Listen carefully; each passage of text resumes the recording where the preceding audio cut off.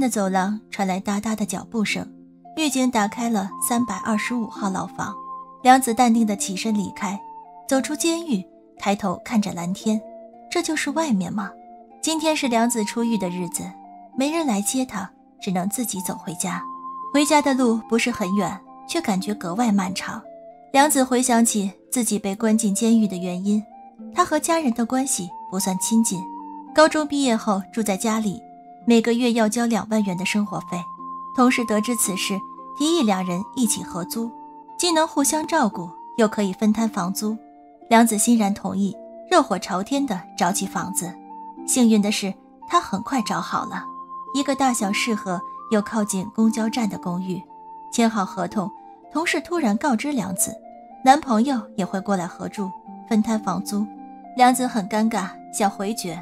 却没说出口，算是勉强答应了。要搬新家的喜悦围绕着梁子，他加班加点的缝制着新家的窗帘，想要尽快搬进去。弟弟担忧他无法照顾自己，想劝他别搬走，话到嘴边却变成了搬走。我倒是很开心的，终于可以在安静的房间做作业了。梁子如愿搬到了新家，第一天就发生了一件特别不靠谱的事：同事和男友分手。只有男友搬过来住，两个年轻男女合租，总有很多尴尬和不便。梁子一直忍耐着，心情烦闷。天空中下起大雨，让人更加不快。猫咪的叫声传来，梁子闻声去寻，那是一只黑白相间的小可爱。它一直叫，或许是饿了。梁子去给它买食物，回来时却不见小猫的身影。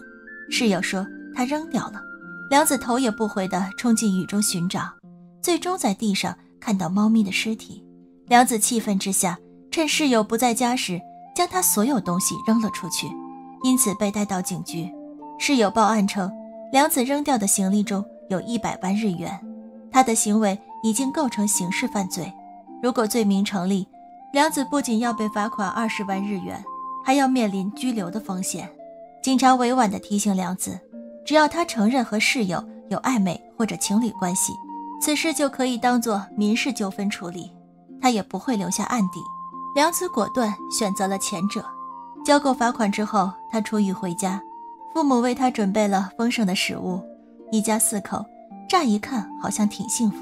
可这种假象维持不足几分钟，弟弟突然发飙，他马上就要参加升学考试。梁子这时候回家，哪个好学校会要家里有罪犯的学生？父母也莫名吵起来。父亲嘲讽母亲给棒球男生砸钱，母亲回他一句：“你不是照样给公司的女员工花钱吗？”一时间，餐厅乱成一锅粥，大家互相抱怨谩骂。梁子实在难以忍受，决定存够一百万就离开家，以后再也不麻烦家人。一个有案底的女生，要想赚钱，必须付出比别人更多的努力，还要忽视周边的人窃窃私语、议论纷纷。梁子独来独往。忙个不停，他骑自行车送报，做清洁工兼职，还在客服公司日复一日地听着投诉电话。他一心赚钱，两耳不闻窗外事，可麻烦总是找上门。同学听说他有案底之后，特意过来奚落他，还说要召开同学会，让梁子讲述一下监狱的经历。梁子最开始不想惹麻烦，一直隐忍，同学却不知收敛，更加嚣张，将他推倒在地。买来的菜也散落一地，梁子情绪彻底爆发，将三人狠狠收拾了一顿，潇洒离开。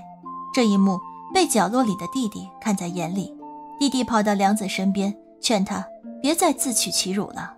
梁子回答：“怎么会是自取其辱呢？我没有做任何令自己羞辱的事。”随后，梁子注意到弟弟脸上的伤痕，他问弟弟发生了什么事，弟弟不愿回答，梁子也没强求，只说。每个人都有自己的烦恼。弟弟悄悄拉住梁子的衣角，轻声告诉他：“你走了之后，别忘了给我写信。”之所以让梁子写信，是因为梁子没有手机。梁子觉得自己没有朋友，不需要手机。姐弟俩随着阳光慢慢向前走着，手悄悄握在一起，而后欢快地摇摆起来。空荡的世界回响着爽朗明媚的笑声。后来，梁子存够了一百万。他搬到一个海边小城，租了一间从窗户就能看到大海的房间。每天早上，他会早早的去海边超市打工，一忙就是一整天，累得让人只想瘫着。但这样的生活在梁子看来，要比在东京时健康很多，并且让梁子感到欣喜的是，老板夸他有做刨冰的天赋，这是梁子第一次被人夸奖。他还专门写了封信给弟弟炫耀。梁子的喜乐忧愁也只有写给弟弟说。他依然独来独往，不与任何人产生新的关系。黄发小哥哥对他很有好感，总是找他聊天，约他去 party，他每回都会冷淡的拒绝。一天，小哥哥向他表白，认定他是自己命中注定的伴侣。梁子回答：“我们甚至不知道对方的名字。”微笑着拒绝。第二天，梁子离开了海边，他已经存够了一百万，要去往下一个地点。这一回。梁子想去一个有森林、充满新鲜空气的地方。他来到一个比较偏远的农村，这里居住的大多是老人或小孩。饮料店的大叔给梁子介绍了一份包吃包住的农场工作，主要就是摘桃子。农场主大婶热情和善，初次见到梁子就单手拎起他的行李箱，健步如飞。梁子的房间位于二楼，窗外是连绵青翠的大山，耳边。是蝉鸣鸟叫，每天清晨还会有大公鸡打鸣的叫醒服务。梁子睁开眼，被眼前的一幕吓到。大婶的儿子明南来叫他起床。明南是个大龄单身男青年，性格有点憨。他在门外叫了很久，梁子都没回应。他怕耽误干活，才闯了进来。解释完，给了梁子一个闹钟，之后就不会有这种尴尬了。吃过早餐，梁子第一次摘桃子。大婶称赞她有摘桃子的天赋，简直就是桃子女孩。梁子又将此事写在了给弟弟的信中。摘桃子是个比较辛苦的工作，每天要忙很久。最休闲惬意的时候就是午餐时间，三人被绿色包围，品味诱人的便当，元气回升，继续投入繁忙的工作当中。一天，村长找到了梁子，邀请他担当村子里的桃子小姐，作为代言人。帮助村民销售桃子，虽说是邀请，但根本没有给梁子多说话的机会，就将此事定了下来。梁子委婉的拒绝都被忽视。明南知道此事后，告诉梁子，必须直截了当的拒绝。梁子做好心理建设，说出自己的意愿，拒绝了村长。可此时，村里已经就代言广告一事展开了如火如荼的准备工作。梁子的突然退出，让一切准备工作停摆。村长开了一个桃子小姐退出的讨论会，村民们纷纷请求梁子帮帮他们，还以饮料店大叔的恩情相要挟。他帮你找工作、找住处，现在就求你这么一点事，你都不能帮忙吗？再说桃子小姐的代言是可以上电视的，对双方都有好处，何乐而不为？梁子感觉更加为难，借口他并非本村的人，很快就会离开。就算他此刻当了代言人。明年又该怎么办？话音一落，村民们震怒，他们责怪梁子看不起农村人，不肯帮忙，不肯留下来，在农村玩一段时间，腻了就回城市。所有人吵成一团，和那个总是争吵抱怨的家一样。梁子有些崩溃，大喊着说出自己有案底的事情，随后仓皇逃离大会现场。明南拿起话筒，他不懂为什么要将全村的希望。寄托在一个外地来的女孩身上，一个外地来的女孩又为什么要承担这些？发生了这样的事，梁子只得离开。明南没有说什么，只是送给他一些桃子，然后和大婶开车送他离开。村子渐渐消失在梁子的视野中。这次，梁子来到距离东京很近的城市，在一家花店当服务员。初到店里，他什么都不懂，是梁平一直耐心认真地辅导他。梁平和梁子同龄，现在在读大学，闲暇时间在这里兼职。梁平工作认真，态度温和，平常话很少，但会在梁子被领导批评后安慰他。和梁子一样，不喜欢聚会，会找借口带着梁子离开，还会绅士的在深夜送梁子安全回家。梁子有些心动，一直望着他离去的背影。这种想要恋爱的感觉对梁子而言有点陌生，让人忐忑害怕。梁子明白，他必须说出自己的过往。要么两人更进一步，要么分道扬镳，不能这样一直无结果的泥足深陷。梁子艰难地说出了自己犯罪的过往，和存够一百万就换一个新地方的生活方式。梁平问他，这种生活方式是属于自我探寻之旅吗？梁子回答，不是，我是逃出来的。我总觉得我不属于任何地方，总想去一个无人认识的地方。每搬到一个新地方时，一开始没人认识我，会很自在。慢慢认识后，麻烦就会到来。一百万能够让我坚持到找到下一份工作，能够付起房租。解释完，梁子匆匆离开。这样一个有暗底又怯懦的自己，凭什么得到别人的喜欢？别自取其辱了。突如其来的变故让梁平很慌张，以为是自己问的太多，遭人厌了。他追上梁子，诚恳的道歉，还当场表白：“我知道现在说这个可能不合适，我喜欢你。”说完低头离开。还嘱咐梁子将这段告白忘记，梁子却回答：“我忘不掉，因为我也喜欢你。”纯情的少男少女互相表达了自己的心思，顺其自然的牵手在一起。梁子来到梁平家做饭，独处密闭的私人空间，两人有点害羞，再加上房间很乱，梁平一直慌张地收拾屋子。梁子见状，先去做饭，却发现少买了大葱。梁平听后，打开卧室的门。窗台上种着很多蔬菜，梁子突然大笑起来。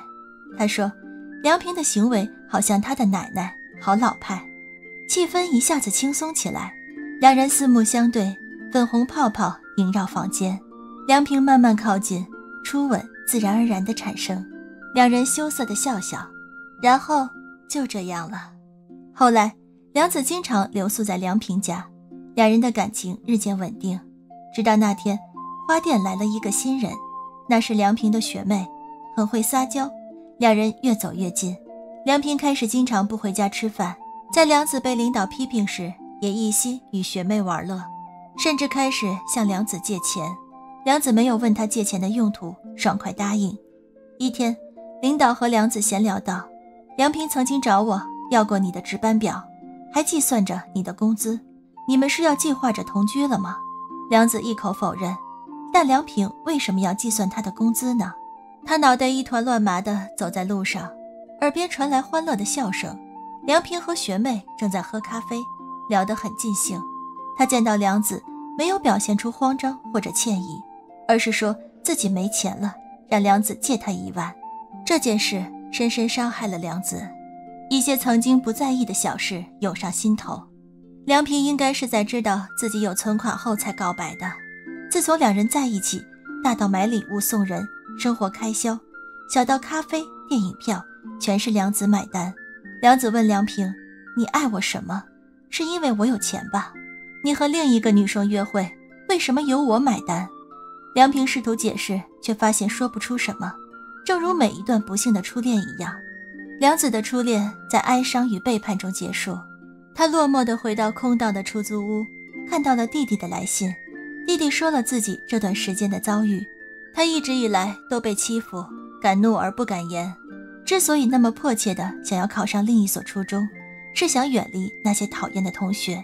他一直忍耐着，等待着升学考试，可欺负愈演愈烈，他最终还是没有忍住，和同学爆发冲突。其中一个同学受了伤，弟弟因此被送到儿童咨询中心，在那里，弟弟得知自己做的是错的。他不应该打人，他向受伤的同学道歉，同学没有接受。弟弟开始怀疑自己是个坏人，不配被原谅。父母想让弟弟转学，但他拒绝了，因为梁子英勇反抗的模样一直刻在他的脑海。他要像姐姐一样勇敢面对，不逃避，努力适应。